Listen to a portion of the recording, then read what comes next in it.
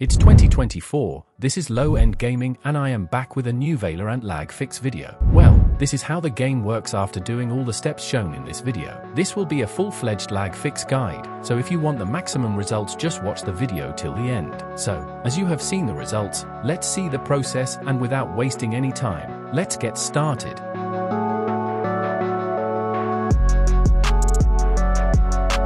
Open your game and go to settings.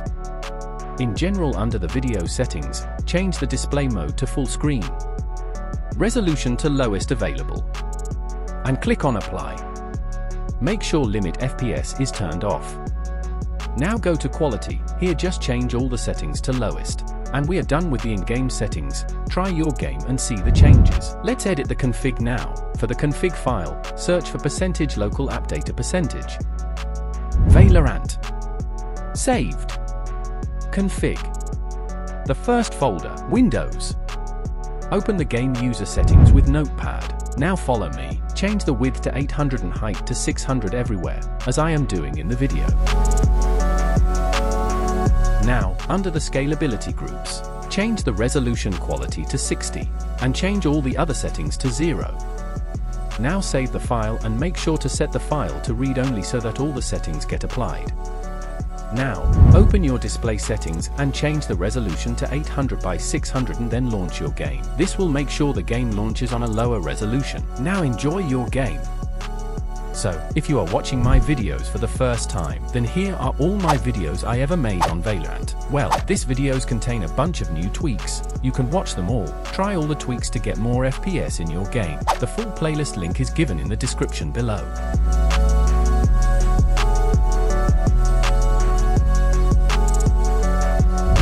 Let's optimize our system for the best performance and FPS. Go to the description of this video and download my optimization pack. Extract the zip file and open it.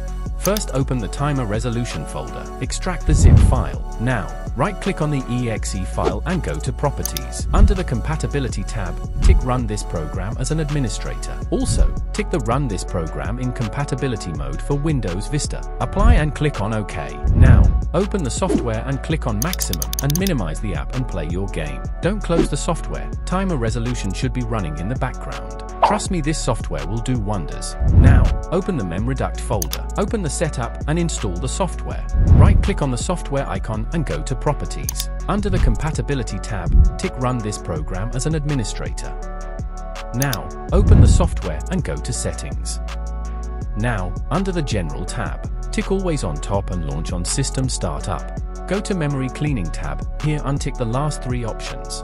Under Memory Management, tick Clean when above and set it to 90 and also tick every minute and set it to 30. And we are done. Close the app. This software will clean your RAM automatically. You don't need to do anything. Just sit back and play your game. Now, open the Process Lasso tool folder. This is the best software to maximize your CPU's performance. Install it and now open it. Go to main and click on performance mode enabled.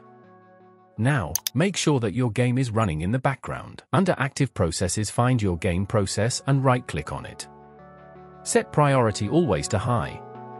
Set affinity always and select all the CPUs. Set the I.O. priority to always high.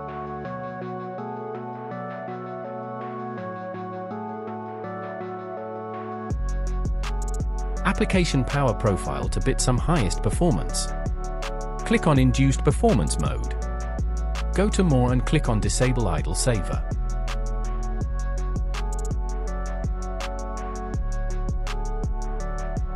And we are done. To make sure that this settings apply every time you play the game, make sure Process Lasso tool is working in the background. Again go to the extracted folder and open the MSI utility folder. Open the software as an administrator. Find your GPU, tick the MSI checkbox and set its interrupt priority to high.